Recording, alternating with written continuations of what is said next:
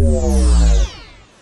أهلا بكم أصدقائي في هذا الفيديو الذي هو أول حلقة من سلسلة فيديوهات سوف نخصصها لأخبار التحديثات ودائما مع تحديث أندرويد 11 الذي يصل إلى هواتف أخرى جديدة لشركة سامسونج وموتورولا و OnePlus وشاومي والريلمي. ابقوا حتى الآخر ولا تنسوا الضغط على like حتى نتأكد من أنكم تريدون هذا النوع من الفيديوهات. قبل البدء أريد أن أجيب على بعض الأسئلة التي طرحت في قسم التعليقات والمتعلقة بأنواع محددة محددة من الهواتف وعن موعد وصول التحديث لها. فمثلا موعد وصول تحديث أندرويد 11 لهاتف A10 من المحتمل أن يصل في سبتمبر. كذلك بالنسبة ل Galaxy Tab A8 في شهر يونيو القادم من المحتمل أن يصل التحديث لهاتف A41 أما في يوليوز أي الشهر السابع فمن المحتمل أن يصل التحديث للهواتف التالية Galaxy A12 Galaxy A20e Galaxy A30 أما في غشت فمن المتوقع يصل التحديث لهاتف Galaxy A30s نعود الآن إلى موضوعنا الأساسي ونبدأ بنوكيا.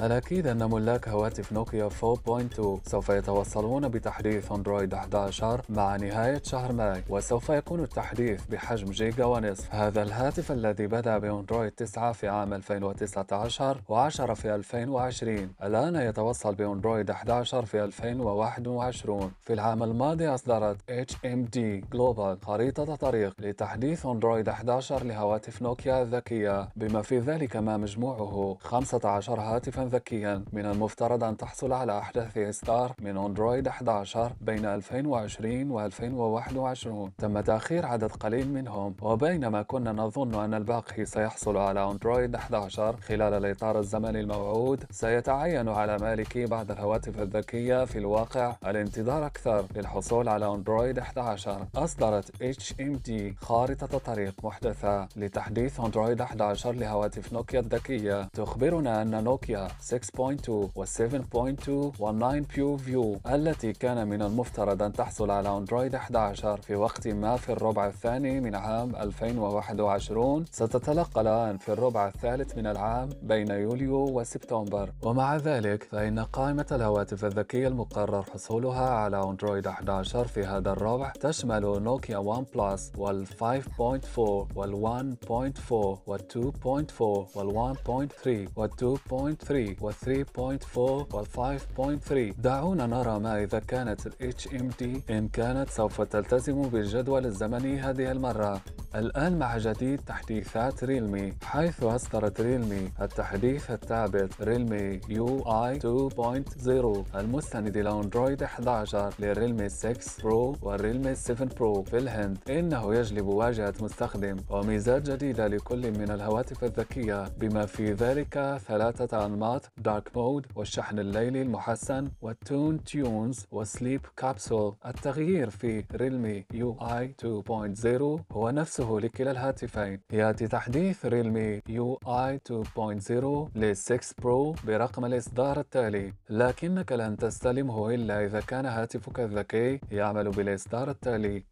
الشيء نفسه ينطبق على الريلمي 7 Pro يجب أن يكون على برنامج ثابت بإصدار. لتلقي تحديث ريلمي UI 2.0 مع الإصدار التالي. ومع ذلك تجدر الإشارة إلى أن هذا التحديث المستقر يتم طرحه فقط لأولئك الذين لم يكونوا جزءا من برنامج open beta. كما تقول الريلمي إنها أصدرت بالفعل أحدث إصدار لمستخدمي open beta. ومع ذلك فإن الريلمي تقوم بزرع بنية الريلمي UI 2.0 المستقرة لعدد محدود من المستخدمين في الوقت الحالي. وسيبدأ طرح أوسع في غضون أيام قليلة إذا لم يتم العثور على أخطاء. نمر الآن إلى تحديث هواتف موتورولا. صحيح أن ملاك هذه النوعية من الهواتف قليلون في إفريقيا إلا أنهم كثر في القارة الأمريكية. بدأت موتورولا في طرح أندرويد 11 لل One Hyper الشهر الماضي بدءا من البرازيل. والآن أصدرت الشركة أحدث إصدار من أندرويد للهاتف الذكي Snapdragon 675 في الولايات المتحدة ويأتي برقم الإصدار التالي.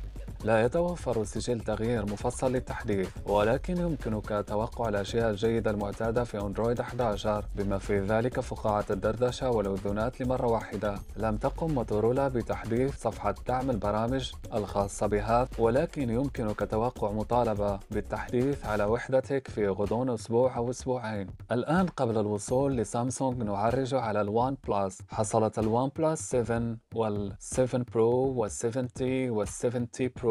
على تحديث أندرويد 11 في مارس والآن يصل تحديث أندرويد 11 لجهاز ال OnePlus 7 T Pro 5G يحمل برنامج الإصدار التالي. ويأتي مع تصحيح أمان أندرويد في أبريل 2021 نصل الآن إلى هواتف سامسونج حيث لدينا أربع هواتف من المحتمل أن تتوصل بالتحديث في الأيام المقبلة. خلال الأيام القليلة الماضية عملت سامسونج على دفع أحدث إصداراتها التي تعمل بنظام أندرويد 11 إلى هواتف جالاكسي M series وال A series ذات الأسعار المعقولة. أصدرت الشركة الآن تحديث أندرويد 11 المستند إلى ال One UI 3.1 لهاتف ذكي آخر ميسور التكلفة. أحدث طراز هو جالكسي A11 الذي تلقى أول ترقية رئيسية لنظام التشغيل على شكل أندرويد 11 من الواضح أن التصميم الأحدث سيوفر ميزات جديدة للهاتف الذكي في الوقت الحالي يتم نشر التحديث في منطقة أمريكا الوسطى لنكون أكثر تحديدا ببنما. يمكننا أن نتوقع طرحا أوسع نطاقا في الأيام المقبلة. يأتي تصحيح الأحدث على جالكسي A11 برقم الإصدار التالي. نظرا لأنه تحديث رئيسي فقد يتطلب جزءا كبيرا من البيانات على الرغم من أنه من الصعب في الوقت الحالي افتراض ما إذا كان سيأتي مع تصحيح الأمان لشهر أبريل 2021 أو تصحيح الأمان في مايو 2021 عند الحديث عن التغييرات والميزات يمكن لمستخدمي جالكسي A11 استخدام ميزات مثل المشاركة الخاصة والمشاركة القريبة وال Eye Comfort وال Samsung Free Shield وإزالة بيانات الموقع وميزة التبديل التبديل التلقائي إلى جانب بعض الميزات الأخرى. بعد التحديث إلى أندرويد 11 يمكن للمستخدمين أيضا الوصول إلى الميزات الأساسية لنظام أندرويد 11 في الوقت الحالي لا يتوفر لدينا تغيير التحديث.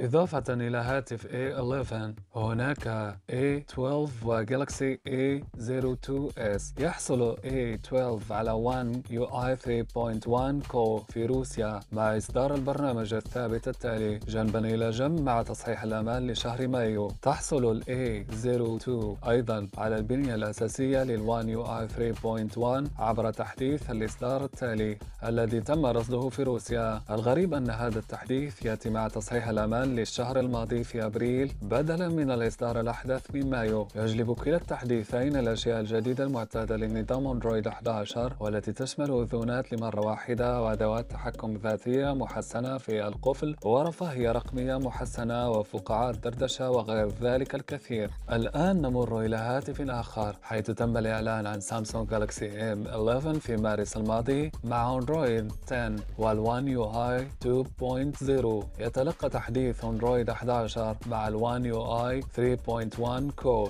إصدار أخف من ال One UI تم تطويره للأجهزة المنخفضة. يحمل البرنامج الثابت الجديد رقم الإصدار التالي.